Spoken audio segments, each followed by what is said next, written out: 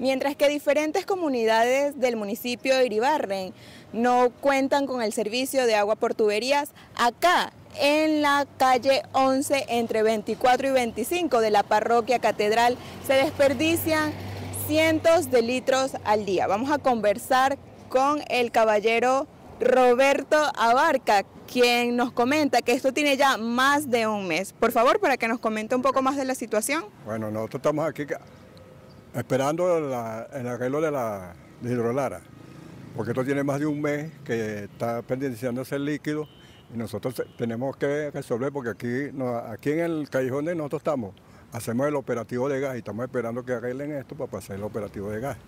Porque si esto no lo podemos hacer por el agua, porque se, aquí se paran las bombonas de gas y, la gente no puede caminar.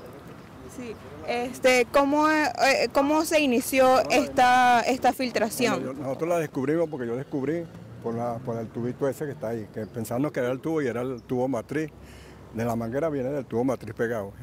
Ahí fue donde nosotros descubrimos y nos la damos así, hasta que llegó Hidrolara y abrió y se fue. Cuando vino Hidrolara, ¿qué hicieron ellos? Bueno, abrieron aquí, iban a romper aquí el, alfato, pero no pudieron porque el, concreto que está, la máquina se puede dañar. Y nosotros le dijimos que si traía un taladro, ella dijo, no, es que no tenemos taladro. Bueno, bueno, hagan a ver qué es lo que van a hacer. Y no han vuelto. Eh, eso fue ya hace un mes. este, ¿A ustedes han eh, vuelto a hacer eh, la solicitud ante Hidrolara? La, señora metieron otra vez la solicitud para ver si, la, si venían y no han venido hasta el momento otra vez.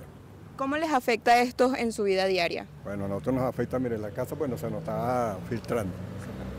La, mayoría de la, gente sufre porque no, las casas están sufriendo por la parte de, la, de las filtraciones. Eso nosotros estamos por, por eso. Bueno, eh, son aguas blancas, pero también quisiera saber si han presentado, ya que tiene más de un mes, si han presentado proliferación de insectos. Menos mal que no, porque como es agua blanca, camina. Pero si fuera agua negra, sí se, se instalan los insectos, por un dengue, por los, por los hijos, por los carajitos. Eh, ¿Cada cuánto tiempo les llega a ustedes el agua? Cada, cada cuatro días nos llega el agua aquí.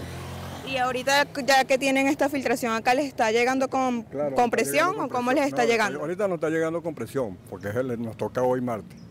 Pero ya mañana no hay agua, el, jueves hay agua. El sábado y domingo hay agua por todo, hasta las, las 10 de la, del lunes. ¿Y cuando no hay agua, igual sigue corriendo o se para? No, cuando hay agua, ahorita hay agua, sigue corriendo porque se está botando, está soltando el agua. Pero, cuando, cuando en la mañana se va y se seca el, y no coge más así, hasta el siguiente día que deben abrir el agua y vuelve otra vez a coger. Sí, bueno, un nuevo llamado que le hagan las autoridades. Claro, que vengan a ver si nos arreglan este problema, porque si no, habrá que pararse aquí o hacer tranca para ver, porque ya tiene un mes ya que no, no vienen